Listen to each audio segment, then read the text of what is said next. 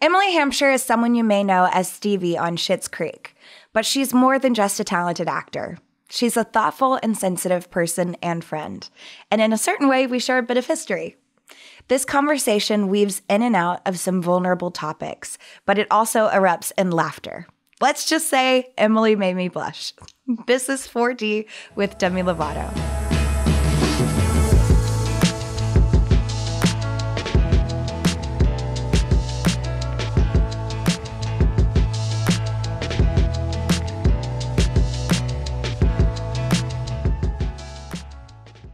Mental health is a lifelong journey. With Talkspace, you can match with a licensed therapist and send them unlimited messages. Using Talkspace feels a little like having a therapist in your pocket. That's why being able to reach out anytime from anywhere makes taking care of my mental health super easy. I'm more relaxed when I'm traveling, knowing if I need to talk, I can just send a message from wherever I am. Working through things in therapy can be tough, but connecting with a therapist isn't. I wholeheartedly recommend Talkspace for therapy. You can sign up online and start therapy the same day as you sign up. You can text video or send voice messages to your licensed therapist, so it's incredibly convenient to have virtual sessions from the comfort of your home. Talkspace is a fraction of the cost of in-person therapy. Instead of waiting for an appointment, you can send unlimited messages to your therapist 24 7 and they'll engage with you daily, five days a week. As a listener of this podcast, you'll get $100 off your first month with Talkspace. To match with a licensed therapist today, go to Talkspace.com. Make sure to use the code 4D to get $100 off of your first month and show your support for the show. That's 4D and Talkspace.com. Hi, Emily. Thank you so much for doing this podcast, this show. I'm so excited to have you. Um, this, yeah, this is 4D with me, Demi Lovato, and uh, which feels weird every time I say that. But um, I want to give you an opportunity to introduce yourself because I know that a lot of the audience knows you as Stevie Budd in Schitt's Creek, which I love. Um, but I want to give you the opportunity to introduce yourself, how you want to be known to this. It's audience. so funny because I've listened to your podcast now, and I know you do this, and a, I love that you say it feels weird saying your name all the time because so I've been an actor all my life and like introducing myself means like Emily Hampshire, five four, and like turning around, I'm based in Los Angeles.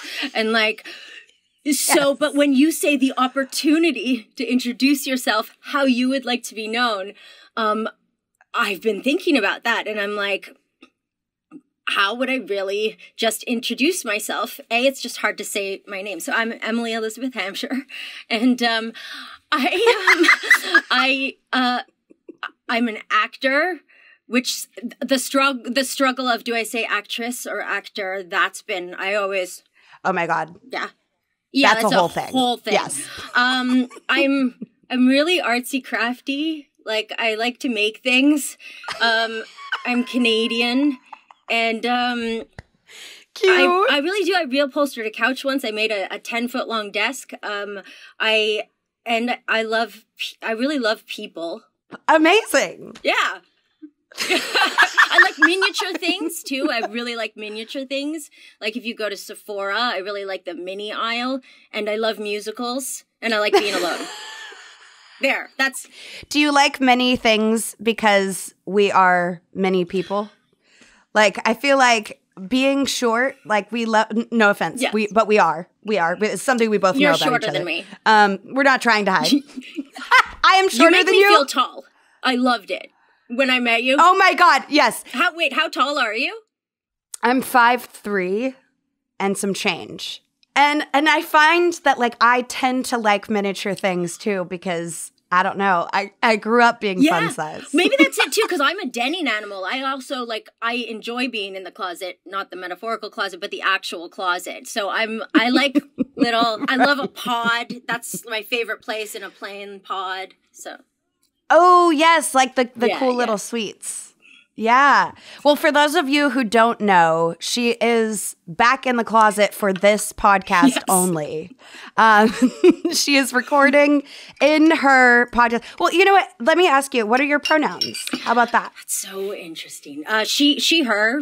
Those are my pro- pronouns. She, her. Cool. Um, but it's really interesting that I've been thinking about it a lot since you came out as non-binary and then I I was thinking about it a lot because I feel like we've had so much in common and stuff and I I, I don't have any desire to change my pronouns, but I do feel like every issue I've ever had in my life would be so much better if no one prejudged me as being a woman or a girl or female or anything.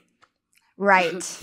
right. Right. I mean, I totally relate to that sentiment 100%, which is why I adopted new pronouns, but that's really really incredible to hear. Thank you for saying that. Um that that had an Big impact, impact, on how yeah. you well I want you to know that something that was also very impactful for me was when you came out as pansexual.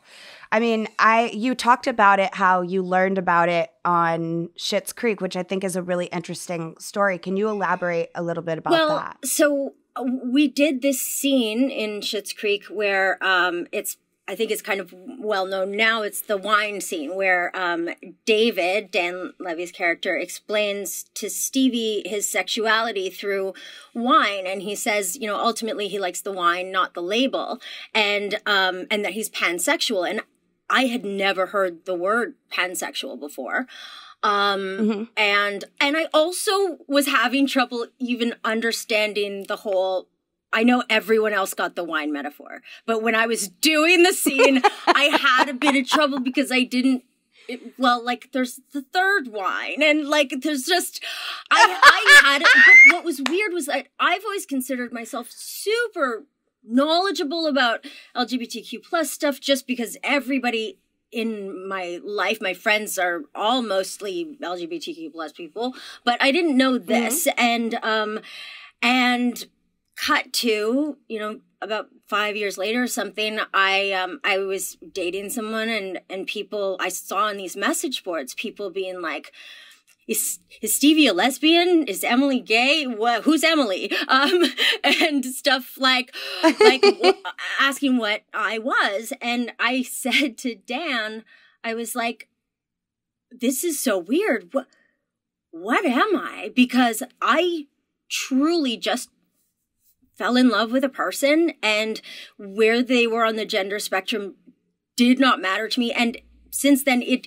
it right. really it really doesn't matter to me. Um i have to like the person. Right. i'm really attracted to like a person's vibe and their yeah. Right. And so he was like you're pansexual. Don't you watch our show? And um but then the truth is that since then I did feel kind of like I had to identify myself. And and on the one hand, I believe in that. I believe in visibility. I know how important it is. On the other hand, my utopian world is like you don't have to identify yourself as anything that that why I don't have to say I'm pansexual, bisexual, anything, but I get why we have to now. But also even yeah. with pronouns like my utopian world would be we're just like human. And you've, you've pushed people in a way, not on purpose, I don't think, but anyone who I think becomes non-binary, you push people into thinking a little broader and to thinking like human person. And, and I love that. So. Oh, well, uh, thank you for, for saying that. I came out in because I was being asked. Um, and, and I guess, it, and it was also like uh, liberating in a way also a self-discovery thing because you know i um i can look back in high school and see that i wasn't just like wanting to be like the girls i wanted to like fuck the girls. yes, same. Okay, because I it, it, was confusing for a while. and like, oh my god, you yes. have such great tits. I wish I had tits like that. But then I'm like, maybe I will do a little more. Um, yes. so it did make me like really start to. Uh, I think like Schitt's Creek did for a lot of people, made you start to really kind of look deeper into yourself. Well, look, I, this is kind of a departure from what we're talking about right now, but this is something that I wanted to give you an opportunity to speak about. I wanted to give you a safe space where you can talk freely about something that you have never spoke publicly about for the first time. So the truth is, when you asked me to be on your podcast, I was so honored and like uh mm. yes and but then uh, immediately i was like no i can't because i had told you um something that I I'd never shared with anybody um just like that before. So I I had told you that you, speaking out about your eating disorder in in the way that you did um especially because it was bulimia and it, I even have trouble saying that word which is a problem obviously. But mm. um you really affected me when I didn't even know you when it it was somebody who I really thought it, I was so disgusting and like it was such a gross mm. secret and and to see you talk right. about it and also this is the weirdest thing Jane Fonda who's the only other person that I ever unsolicitedly told I saw her on a plane once I I sat in my seat during turbulence and wrote her this crazy letter. Um, and I, because I'd read her book when I was younger and her talking about being an actress with an eating disorder that was similar to mine. Um, I, yeah. uh, I just felt less ashamed and it's funny that the only people I have actually ever told, like people in my life know because I went to treatment and they had to, you know, they knew, um, not many, not mm. many at all. I told you because you have really helped me. And I told Jane Fonda, I said, I wrote this letter at the end I gave her the letter and then I saw her again in, and I was so weird. I'm not usually starstruck. I was so weird. And so now I have total empathy whenever a fan comes up to me. And if they're weird, I'm like, I've been weird too. Um, and then she came up to me in customs and I was like, no, because all the things I said and, and she was so lovely to me.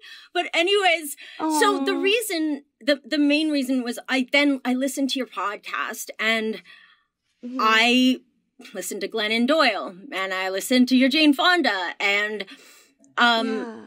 it just made me realize that I can't I don't I don't need to talk about this. I don't but I doing a show like Schitt's Creek, you do start to get things for letters from people, letters like 80 DMs, yes. DMs from people who um who tell you how y- you being authentic and open has helped them be like that. And and it actually reminds me of um, Carson Kressley came on this little pandemic charity show I was doing, and he um, he was talking about the power of coming out and he said you know there's always always people who pave the way for you to make your way easier and and the yeah. power of coming out is saying is is making it human and when you make it human then other people are kind of like, I mean, this was about, you know, being gay for him, but it was, um, that when you make it human, it, it, people, friends can be like, well, I know Carson and he's a great guy. Why shouldn't he be able to adopt kids? And I know, you yes. know, and so you make it human. And uh, quite honestly, I think my, my coming out and this issue are kind of closely related in, in that, um, you and Jane Fonda ma- made it human to me and not um yeah, it was something I was just because I was also, you know, when I've always been an actress and um when I started out um I I started out when I was like 11 and then I kind of became a teenager and Kate Moss was very big then and like as right, mm-hmm. yeah I re- I relate to that that period of time where it was young Hollywood and the fashion industry were very everyone was very un- unhealthily yes thin for to be looking for for teenagers to be looking yes. up to. And especially when you're going yeah, teenagers you're kind of looking for your identity and I I remember my I remember viscerally my first diet. I tore it out of a magazine and it was um two hard boiled eggs, half a cup of oatmeal, and black coffee. And I remember that first diet in retrospect, I can see how much that made me feel like I was in control of my life. Um, yes. Because it wasn't a period of time when I was in control of it. And as, and I do you think back to then that like, what if I never start, had a, did that diet? What if, because I, I, a friend of mine once said, he was like, I've never seen anybody react to a salad the way you do.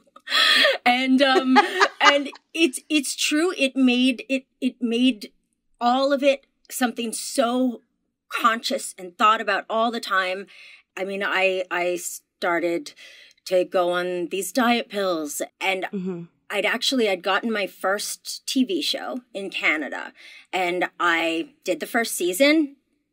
I was normal, did came back for the second season and I had lost a significant amount of weight and everybody said I looked great. Everybody said, "Oh, the wardrobe was like, "Oh, we can have these clothes on you and these clothes now."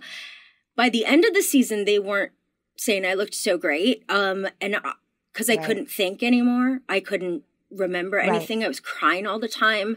Um and then I got really depressed because my brain wasn't being fed at all. And I also was white knuckling through being I, I guess I never thought of myself as anorexic, but I was really, right. you know, white knuckling it through that, counting everything. And then I couldn't do it anymore. And I got depressed and I put on a, significant amount of weight. And I went back to that series and I played an actress on that series. Um, and they wrote it into the show. They were like, my character's name was Siobhan, and they were like, we can't keep Siobhan away from the craft table. And there was all these things of me, me like under the craft table, like stuffing my face, doing all this stuff. I was so embarrassed, but also because I, there was one podcast where you talked about how you could look at your perfectionism how uh, what it's done good for you sometimes. And mm-hmm. i mm-hmm. this is not a good lesson. This is not a good lesson at all.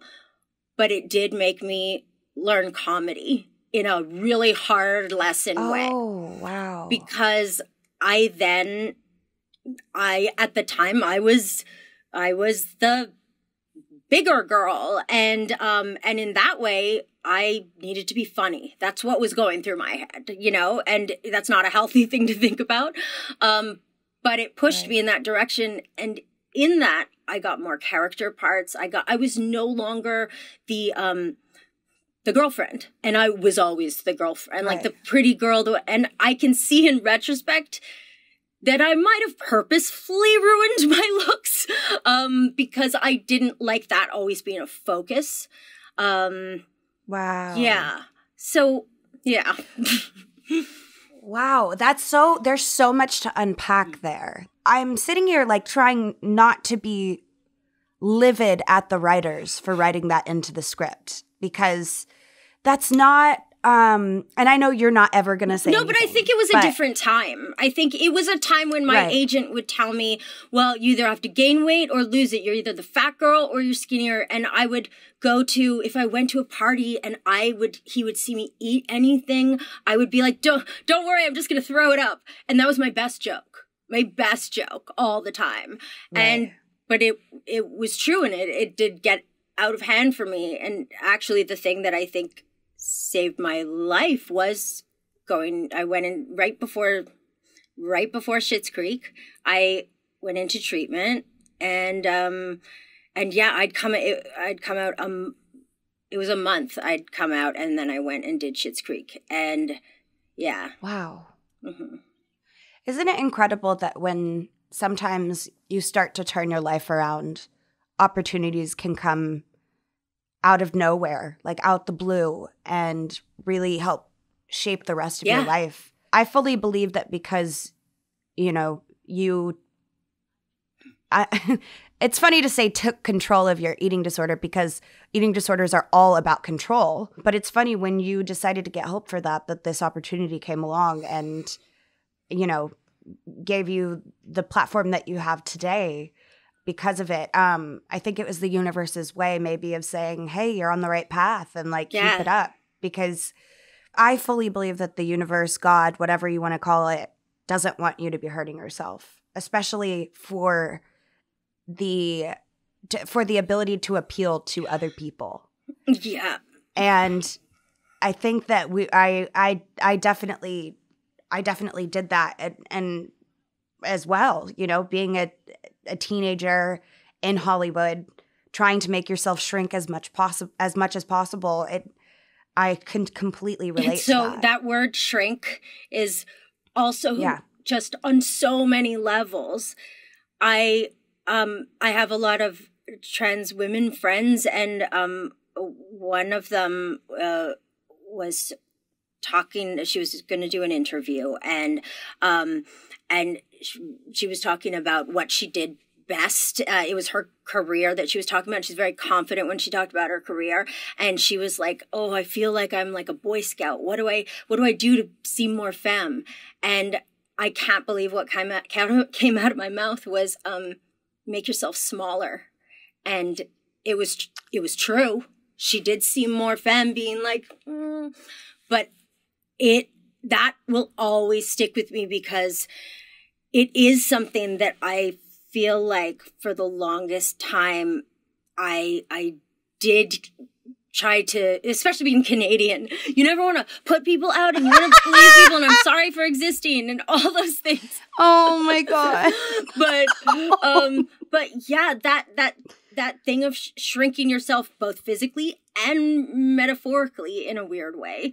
Um and yeah when i came out of treatment my entire life changed. I i can't say that it cured my eating disorder but it made it Of made me find a self or even know that i had a self in me because everything was like I'd go I learned who I was by going to auditions and looking in the other person and seeing, well, what do you want me to be?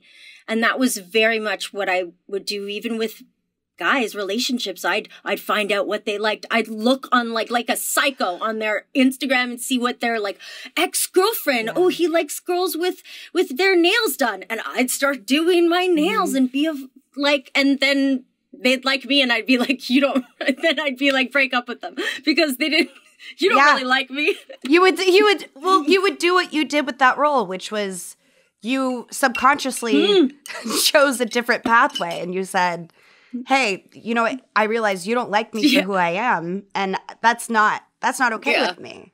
Um yeah, I, I relate to that too.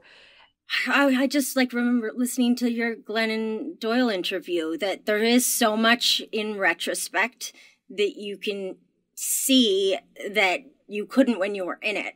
Um, and, and how that journey has made you who you are in, in overcoming things like that. Um, and I Yeah. think that's also why I think I wanted to do your podcast and uh, it it wasn't so much that I wanted to speak about it as much as I didn't feel like I could do your podcast and be real um because you talk you know you Right. you talk about your struggles and um yeah and I just also I guess before had I ever spoken about it before it would have been what defined me because I wasn't established in any way and I never wanted that. And so I feel like now um it's kind of like well I'd like I'd like to give back what you did for me. Like it really it really Oh.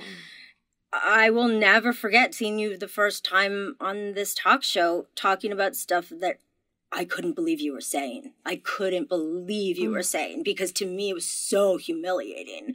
Um and not that, you know, but it No, no, no. I totally get that. You know, I think there's also there's also a taboo or kind of stigma that comes with bulimia as opposed to I think the other eating disorders that that feels a little bit more embarrassing. Um because you are making yourself sick. You know, it kind of there's there's gross things that come with that. I think that our society rewards anorexia in the Yep. diet culture. Like unfortunately, we if you these th- those diets are still being printed to this Yeah. day. The two hard-boiled eggs and a cup of oatmeal, you know, it- all you have to do is open up one of those fitness magazines and it'll basically say the same thing. Our society rewards people who are in control of Yeah. themselves. Eh. And and that's just not where it's at. And that's not where freedom is and that's not where self-love resides. You don't find self-love by by losing weight. I'm sorry, that's just not how it happens. You mm-hmm. can. There are some people that lose weight and they find self-love, but that's for me that's not how I found it. In fact, freedom has always come from taking contrary action, taking care of myself, you know, not not stuffing my face when I when I don't want to. That's obviously not self-care, but um it's by continuing to work on myself that's where i find the freedom. And glennon doyle actually said that that thing about like you can't have both you can't love yourself and be in control like because you're not trusting yourself and to have self-love. Yes. and that really struck me and i remember when i went into treatment my first day i was i felt like the the fat one because it made me bigger. It made me you know and i was like i didn't feel like i was even entitled to say i had a problem or anything. And i i remember my first meeting with the therapist she was i was saying you know this this is nice. This isn't really going to work for me because um you you couldn't do those behaviors there. You were watched all the time. And and i said you know i won't do it here for yeah. this you know month. Um but i'll be okay like uh it won't change. And she's like usually what we find when we take the behaviors away that in a week or two other things start to come up. And i was like yeah yes. yeah then I found myself in uh we did this thing called life story where you had to tell your life story. Um I had to look at my IMDb page to be able to tell remember my life story, which is it I is insane. And I remembered all my my weights from those anyways. Um yeah. Oh, of course. Of I mean, you say anyways, but I could do the same thing with past projects as well. Um it's something that just yeah. comes with it. And yeah. so I was telling my life story and something that I um had I'd always thought, you know, I was cool with it not cool with it but i was it didn't affect me it was my my stepfather dying and i started sobbing like like i'd never sobbed before and like so uncontrollably and the therapist was like how do you how do you feel and i actually said i i feel like not like throwing up but this feels like throwing up this feels like that feeling wow. after that feeling after that i always did feel like there was a calm after the storm and that and I realized a lot of my things were not speaking, not saying things, not keeping things down, keeping things, you know, and um and that was something that again it sounds i'm not this person who's like throwing up as a metaphor for like but but it was what i was doing when i could you know when you do therapy and you can yeah. see the connection then it kind of helps to make it go away if you're okay with talking about your recovery, can I ask you what that looks like today and how you're doing today? Yeah. Um, well, like I said, I don't know that I'll ever be cured. I, I wish I do fantasize about, like, imagine what it would be like to not think of about course. everything. However, I can, this is a weird thing, but I think the thing that helped my eating disorder the most was sleeping with women. that sounds crazy, but I always, but the truth is, I always had this, I was so strict with myself and so punishing with like, this is bad about you, this is bad about you. And then when I, and, and mm-hmm. want to be skinnier, skinnier. And then when I was with women, I was like, oh, I don't want them to be skinny. Oh, I like this about them. I like right. it was attractive to me that someone wasn't right. it's and this is personal, it's just not attractive to me. And that actually really made me see things differently in myself because I was always looking at judging myself through the male gaze, judging my and and not even yeah. necessarily what their male gaze was, but what society was saying they wanted. Um well, Here's the thing. If we're talking about Jane Fonda, she made a really good point. It all comes back to the patriarchy. You know what I'm saying? It, even if it's not the patriarchy saying, this is what we like. It's the patriarchy running the fashion industries that's putting the clothes on the models that we see walking down the runway, telling us that that's what they like. And so it does come down, it comes back to the patriarchy. And, you know, when, when, when you start to think, how do I need to look? You go to, you start to think of, well, what is the patriarchy like? Yes. You don't think of, what do what do I like in a woman or what do you think what do they like in yes. a woman? What do they see? Who's on the cover of magazines? Who's on our television? You know, you're looking at at what they are putting in front of us and it actually does come back to that, especially when the patriarchy's mission is and, and I'm not I'm not saying when I say patriarchy, I'm not talking about all you know, straight white men. I'm just talking about the ones that rule mm. shit. Um, they most of the time they they don't like loud women women with strong women with loud opinions when you say that that sleeping with women helped you i have to i have to say the same thing that i think there's a freedom that comes with dating women where i just don't automatically feel the pressure to make myself smaller and there's a freedom in just accepting each other for where we're at that like that that's really why I see I see myself ending up with a woman. I don't really see myself ending up with a man. And now who's I don't know what's going to happen in my future, but that's just where what I what I feel because I feel it feels safer with a woman for some reason. And and maybe that's because I feel like my eating disorder had to do with so many parts of me that I was shoving down, one of which was uh the side of me that likes girls. And mm-hmm uh, I'm sorry, the side of me that loves mm-hmm. girls.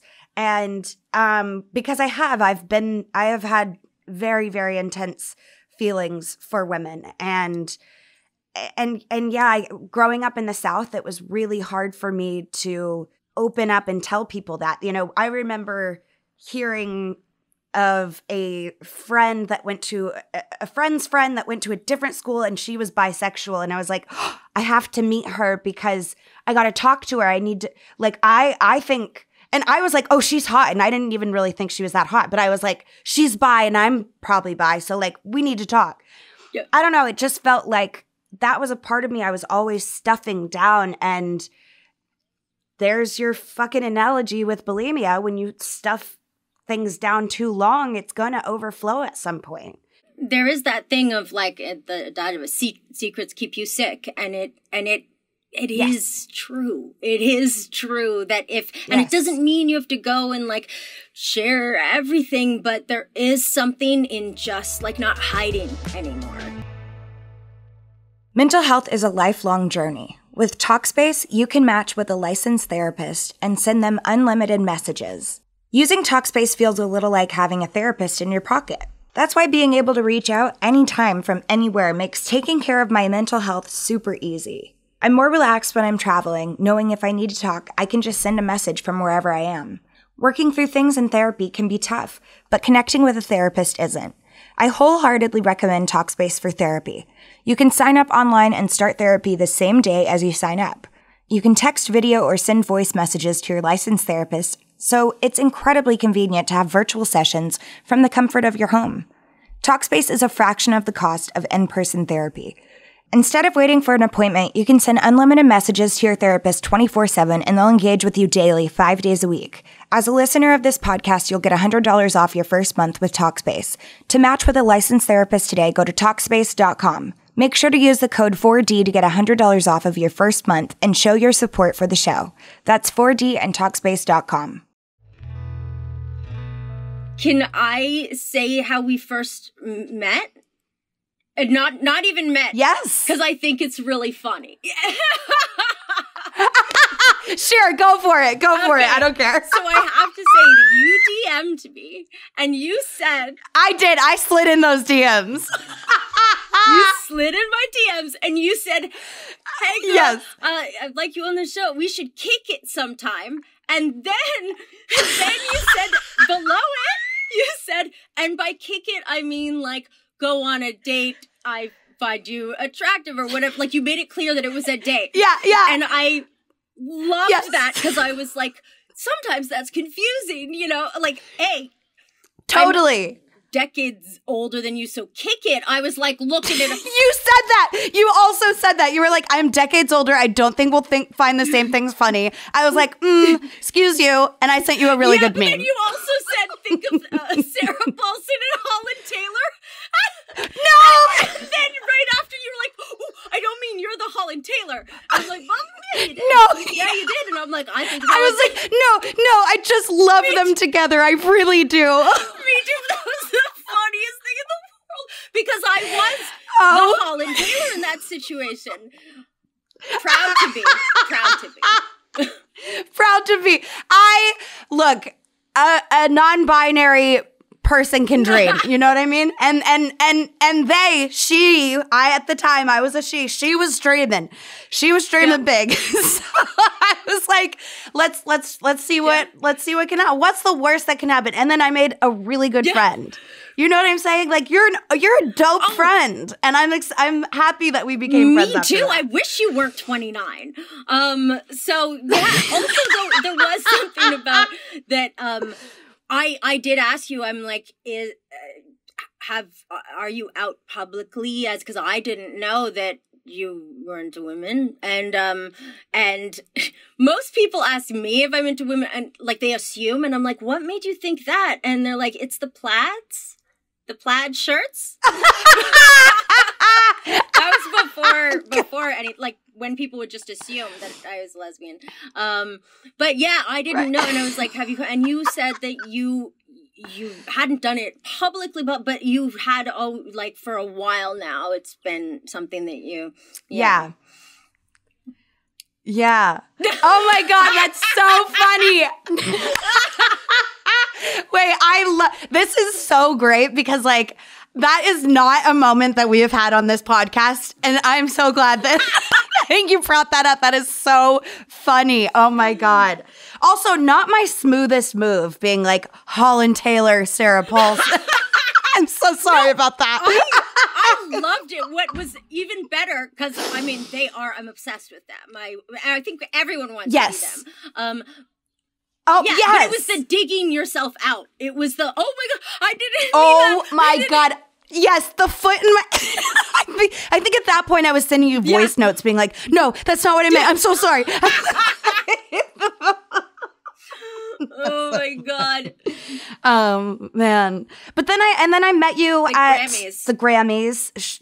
Yeah, and that was that was awesome. I got to my mom got to meet you. My mom is such a big fan of Schitt's Your mom, Creek. I love her. and she was just so excited. Oh my god. Well, yeah. Well, She I loves follow her you, on Instagram, and- so I think I no you Yeah. don't. Oh my god, That's why I amazing. I, love I know that. her more than I actually know her because I see her life and I think I know it. But yeah. Oh my god, wait, that's hilarious. Oh, I love that. Wow. Um I'm a little flustered. Where do we go from sliding into my DMs? I know. Where do we go from here? I slide out the room. Just kidding. No, I'm totally kidding. Um no, uh, well, here's the thing. Uh, You are an attractive woman who like knows her shit. She you have you you're not afraid to be yourself and I think that's what I was like that's fucking dope. You know what I'm saying? And I think that like no matter whatever happens like with with people that you know I date at once or find attractive at once like that's like ultimately we end up being friends. You know what I'm saying? Because like I'm I'm single as a Pringle right now. And I and and I I love it. And now I have a lot of dope friends that some of which I've dated, some of which that I've not dated, but like found attractive. And it's it's cool that like you can that when it's cool when you can make that transition of like, okay, just because it didn't work with someone or like nothing Yeah. happened, then like it's still cool that you can still remain friends because obviously, like that's I'm attracted to Me? what I Me? yeah the, to what I'm attracted yeah to you to you. yes yes okay still I'm still attracted to you fine You know, you said you're single, and I'm, I'm. This is Yes. we're never gonna get out of this loop, but, um, but I also like I have realized that um I I went through a, a difficult breakup and it it kind of forced me to really go to therapy and look at myself because I I was all about the other person and that was something that I did before mm. that person that I didn't recognize but everything was about me not having any needs and any self. And now that I've finally gotten mm. to, after lots of expensive, expensive therapy, I've gotten to a place where I love me so much and be and doing what I want to do that yes. I'm scared to get yes. into a relationship because I'm worried I'm going to just give that up and like I know. I have gotten to that point too where I'm like, but wait, I really love my Grey's Anatomy marathons that I have yes. by myself that like I don't I don't know if someone who I date is going to be interested Not in me. that. And like, or like me and, okay, okay, fine, fine.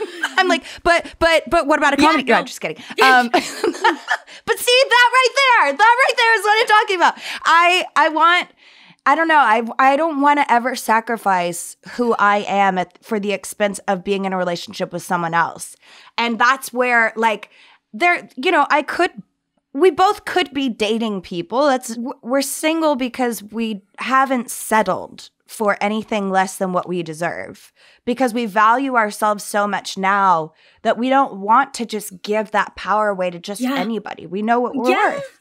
And I think that's really admirable. Do you do you find that now that b- when I've been saying to people I'm like I don't want to be in a relationship with anyone then everyone wants to be in a relationship with you. When you're like, "No, I don't." Totally. Like I'm just I just don't want to do that. But I think it does come out of what's funny is when you were like, I love that we're friends and nothing happened. Once again, bringing it back to the patriarchy, you know how that can never happen right. usually with guys that if you say you can't go out with them or something, they're like, who the fuck do you think you are? Like, you think you're all the. Totally. Totally. But you were like, yeah. It wasn't that I didn't want to date you, by the way. I'm, I'm, I'm just, I'm just, try- I was trying to be like, like, I'm, Anyways, like like what? Like what? trying to be like okay, okay. Here, I got one for you. I, I know how to I know okay. how to do this. Okay. Speaking of prioritizing yourself, what about your new project?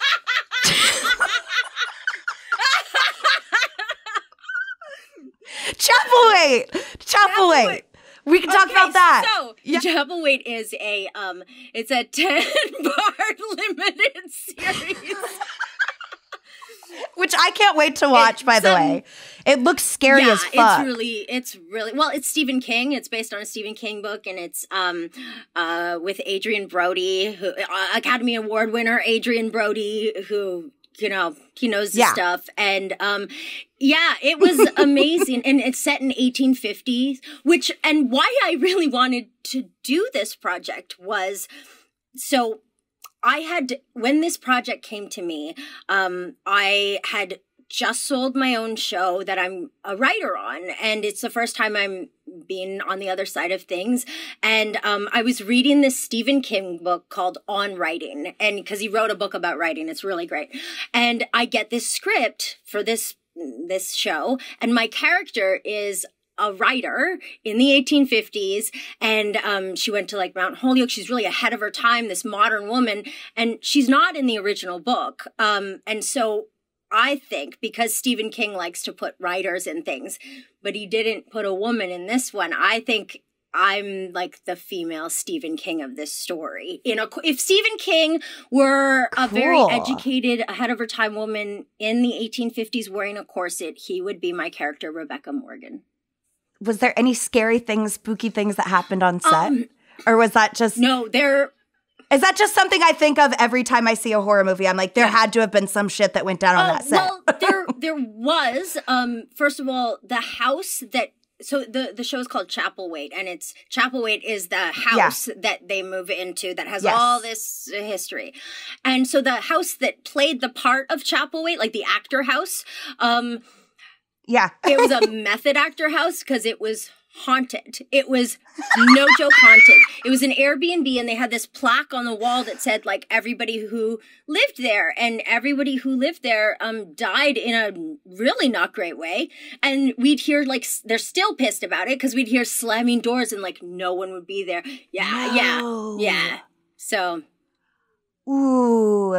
See, that's what makes me scared to work on like a on a on a scary project cuz I'm like, ooh, the energy. Like is it was it was it hard or was it was it okay?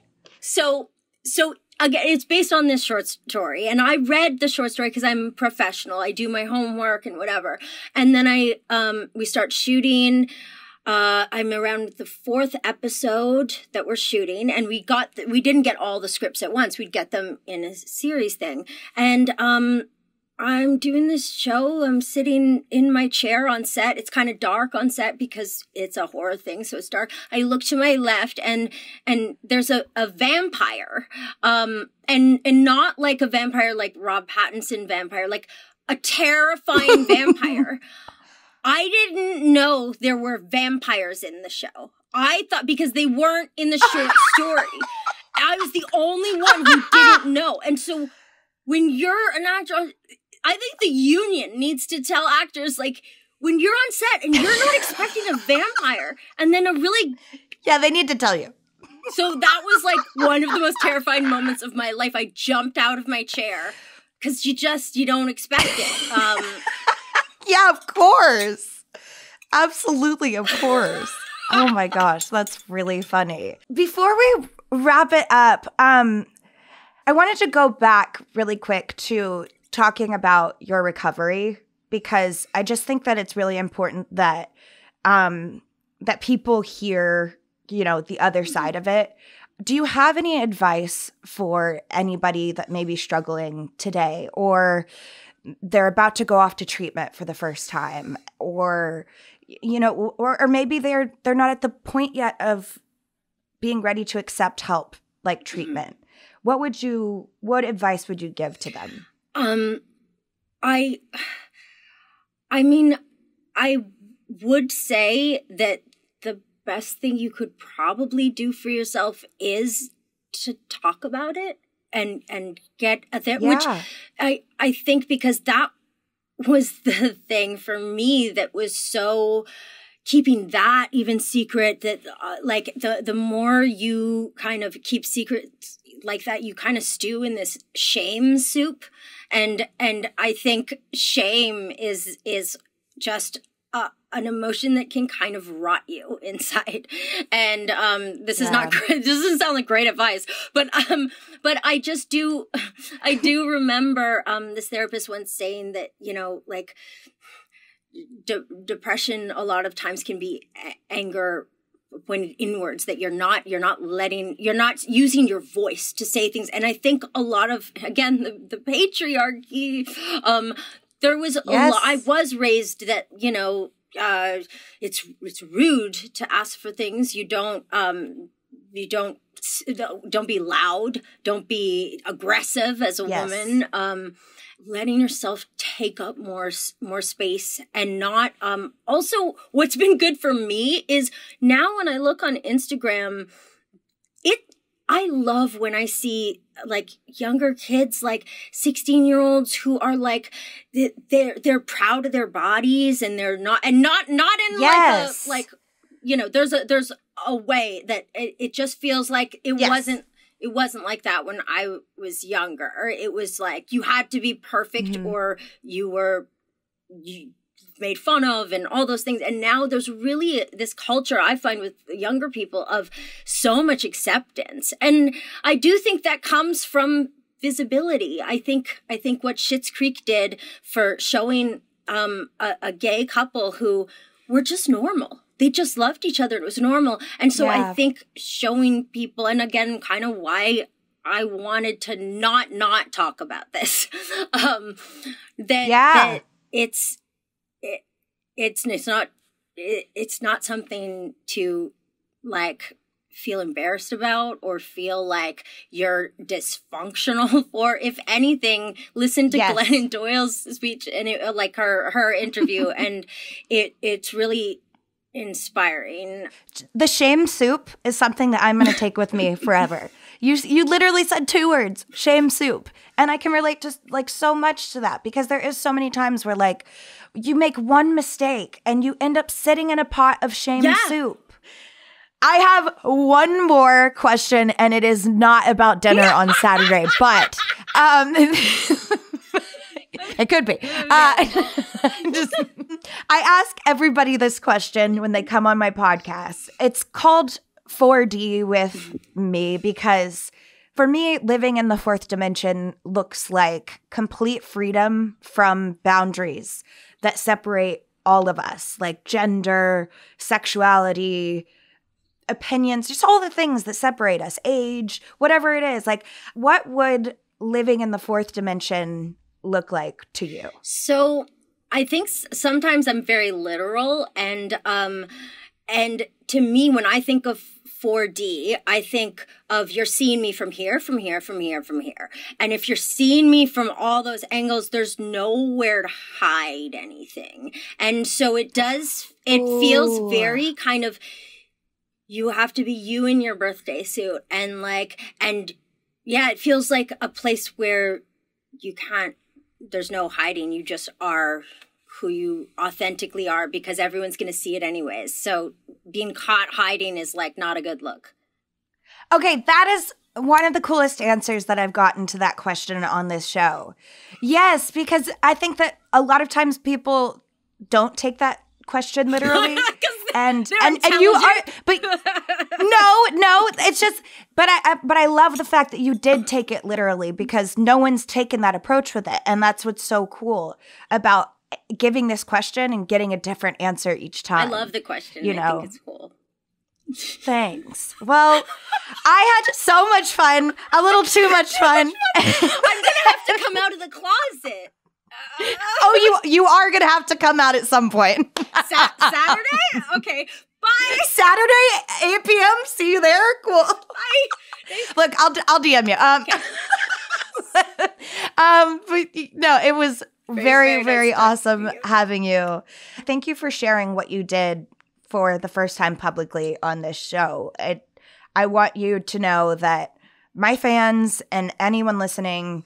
Um, it takes a lot of courage, it takes a lot of guts to come on the show and talk about something as vulnerable as what you just did. And and my fans are going to. I know my fans. They're they're so loving and caring, and they will be supporting you 100% from now on as well. You. So you have not only support a supporter in me, but you have a supporter from all of my fans too. I just mm-hmm. know it. So Thank you so much. yeah, That's really nice. of course. it was so good to good see to you, see you. and we. You look great. okay. So good to see you. Thanks. So do you. Thanks. Bye.